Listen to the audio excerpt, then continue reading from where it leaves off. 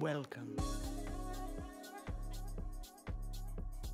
And welcome back to Bambi Bakes. I am the Bambi Banks Couleé. Welcome to my kitchen where we bake sweets with marijuana treats and spill the tea with my friends. And I'm not just baking, I'm baking baking. and we have gathered some of the most potent ingredients from Dispensary 33. Today, we're giving 70s looks, so the tea is all about the war on drugs. Can you dig it? Here to help me is my friend, the poise, the perfect, the pretty, the pink, Lucy Stoole. Bambi, hi. How are you, gorgeous? Well, you know, I can't complain. How are you today? I'm good. Thank you so much for joining us in the kitchen again. We really appreciate it. Thank you so much for having me. Are you ready to get baked? I am more than ready to get baked. Today we are baking Lucy Stoole's medicated mushroom tart. So let's get into the recipe and reality of it all. Lucy is gonna take us through the ingredients you'll need to make this cute little dish, and I'm gonna follow up with some marijuana statistics that ain't so cute. Shall we?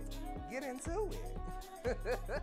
First up, we want to get this dough started. We'll need two and one third cups of all-purpose flour. if all lives matter, why are white people the only ones making dough off legalized weed? Oh, so we just gonna jump right in with the realness, huh? Why sugarcoat it? You're right. It's only half a teaspoon of sugar for this recipe. One teaspoon of kosher salt, and one cup of unsalted canna butter. Over one million folks have been charged for possession One fourth to three fourths cup of water as needed. Good, because I need something to wash that down. Let's get into the ingredients for this filling. Start with two tablespoons of extra virgin olive oil. Over 2 million people have been incarcerated for drug charges. Add in some kosher salt, some black pepper, and eight cups of white mushrooms. Black folks are eight times more likely to face criminal charges than white folks who have been arrested. I got time. Me too, uh, but just one tablespoon of thyme. Two large eggs and one cup of heavy cream. Finally, one half cup of parmesan. Drug busts are made every half a minute. I'm done. I, I need I need a break. Oh, God, okay. Well, meaning four people were caught doing drugs during this recipe alone. Bambi? Hey. Well, I guess that makes five. You want a hit? Yeah, actually. Okay, let's get this tart started. Where do we start, Miss Lucy Stoole? Okay, well, let's go ahead and jump right into it. So let's go ahead and pull this flour back out again. Uh huh. And we are going to need our salt and our little bit of sugar. Do we want to put this in the mixer? So we would normally mix this by hands, but seeing as how our hands are not made to mix things, we're gonna go ahead and it in the mixer. Period. Just- Absolutely love it. So then we go ahead and toss those in too because we want to whisk those up first. to we get that mixed in through our flour. So we whisk that up and mix that all together. Yeah. Okay. Our biggest part. You're right. I'm a bad housewife. Perfect. So give that a little whisk, a little spin, a little turn. That's good. Nothing too crazy. So now you're going to want to take that bowl out. Oh. And we're going to take our prepared butter that's been cut into small chunks like this. And we are going to dump it in there. Okay, get into it. Awesome, that's perfect. Hi. So at this point, this is when you would take your hands and you want to squeeze and mix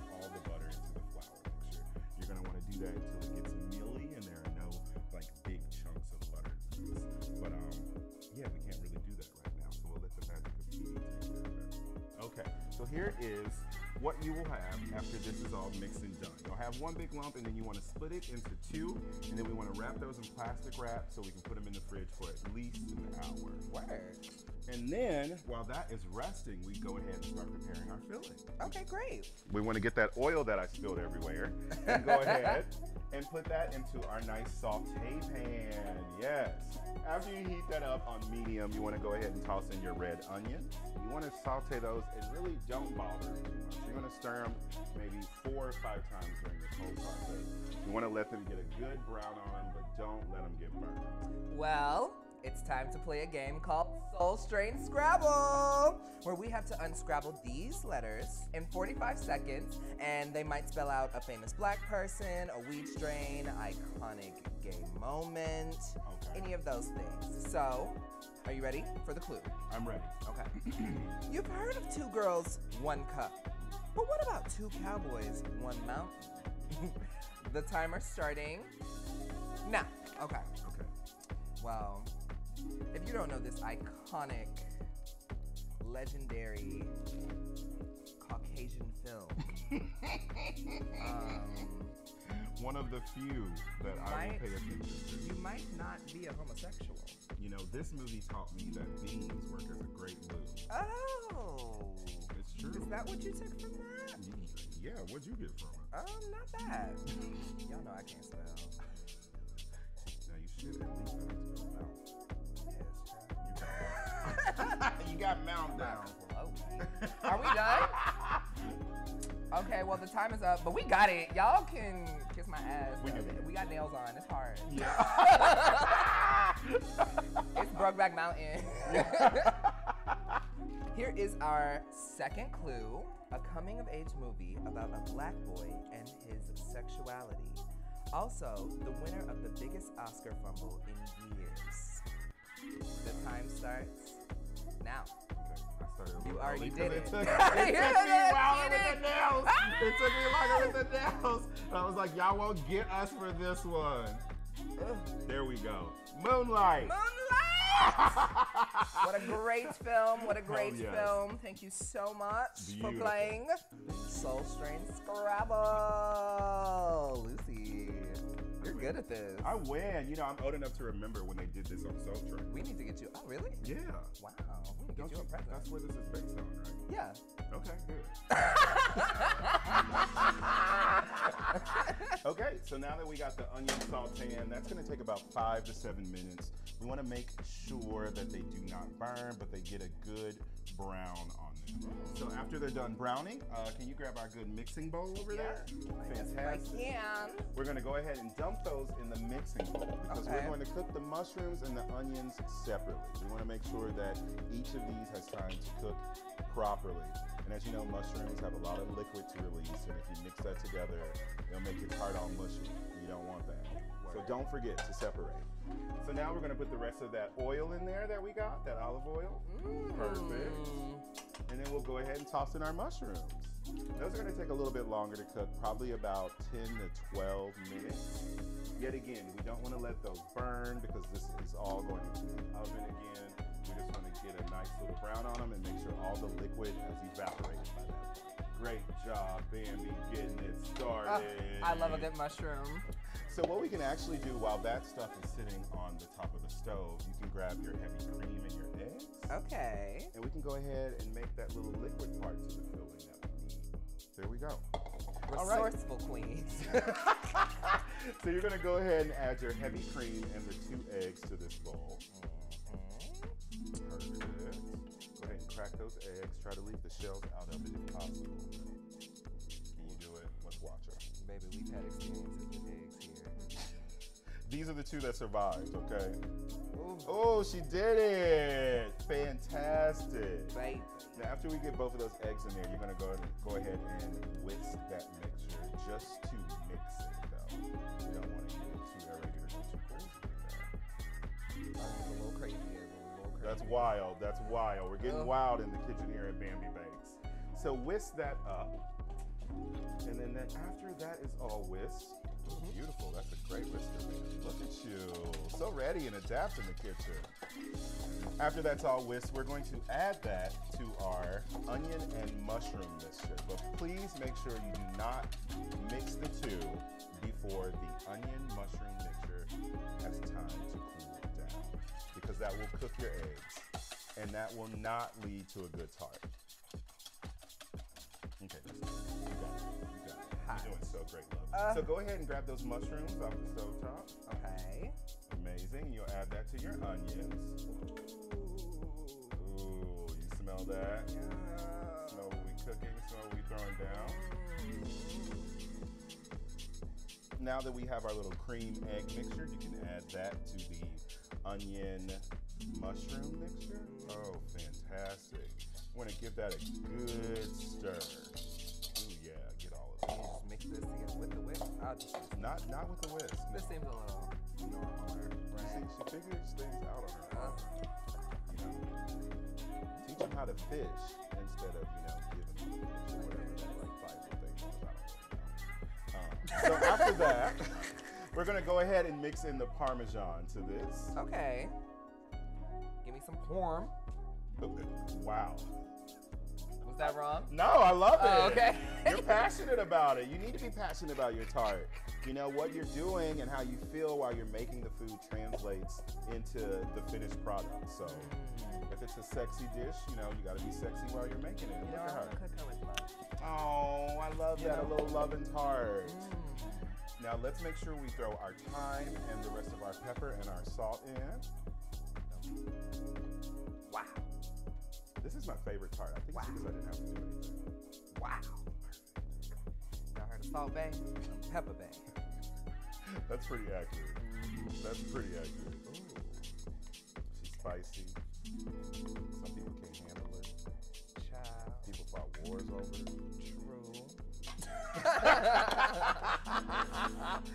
And now that we got that all good and mixed up, we're gonna go ahead and sit that to the side Uh-huh. and prepare our dough to be I put into the tart pan.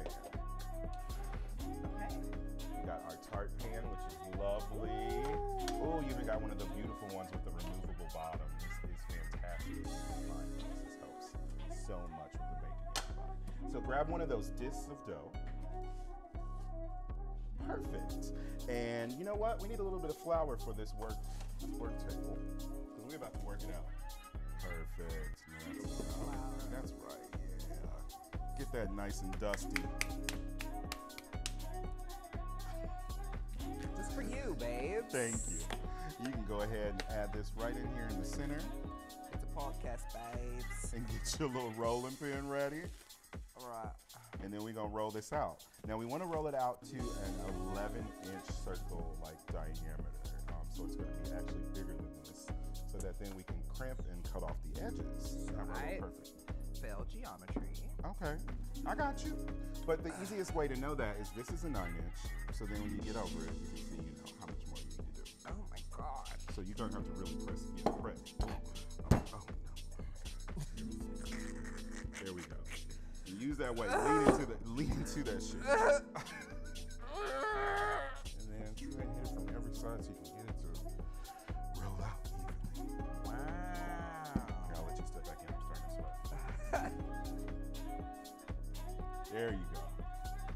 into it. Use that body weight. Oh, that's right. Use that titty weight.